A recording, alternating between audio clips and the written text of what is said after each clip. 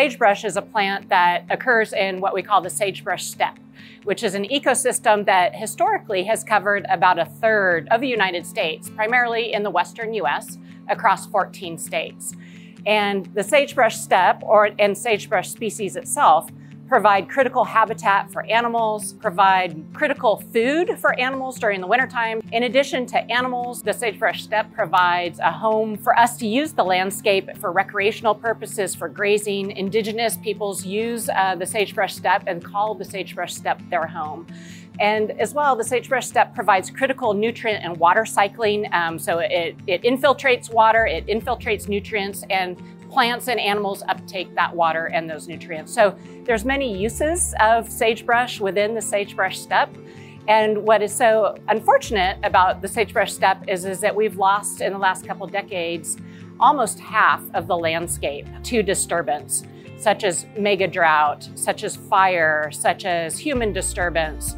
And so thinking about restoration of the sagebrush steppe is really important. And it turns out that restoring sagebrush is really difficult. And the reason why it's so difficult is, is that it takes a long time to reestablish.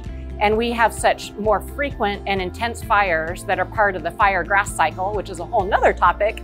With such increased um, intensity of fires and timing of those fires, the sagebrush really don't have an opportunity to reestablish.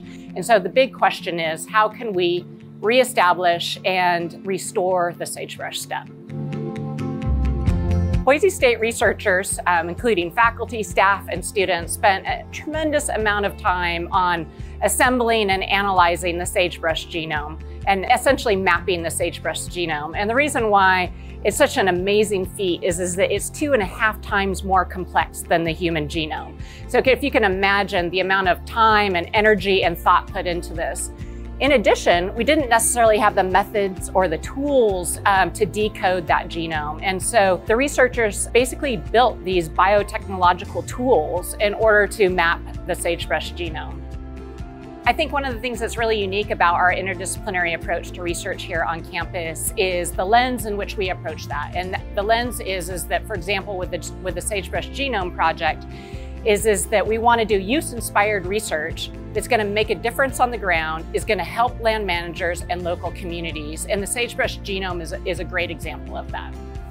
One of the really unique things about interdisciplinarity research at Boise State is that we think about these problems all the way from the basic research to the applied or use-inspired research. And so in the, in the Genome Project, the researchers were thinking about how do we map the genome for the purpose of thinking about drought but how can we incorporate drones and unmanned aerial vehicles to map that drought and then linking that to chemical analyses and um, some very basic research about the plasticity of sagebrush leaves, um, and then mapping that to the decisions that land managers have to make on the ground due to the drought and due to the decline in the sagebrush. And so it's all linked together.